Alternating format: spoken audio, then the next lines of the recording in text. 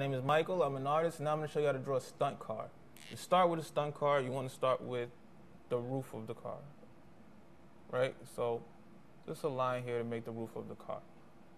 Then you want to start with the windshield and the back windshield. So for the wind, for the back windshield, it's a little bit shorter, and for the front windshield, it's a little bit longer. A little bit longer for the front.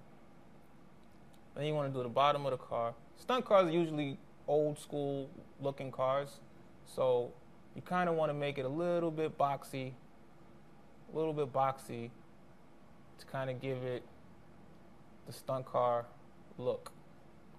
Come down to make the bumper, and then you come in to make the hood. Kind of swoops in, swoops in.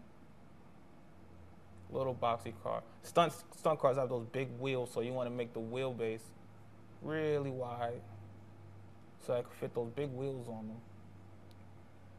And you make the back wheel really wide, so you can fit the big wheels.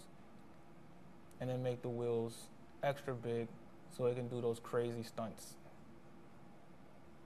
Whatever your stunt car is doing, flying through the air or driving over other smaller cars, kind of give it that feel. Then you want to get the doors in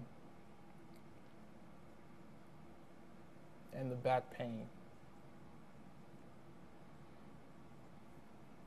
And sometimes they have little gates on the window.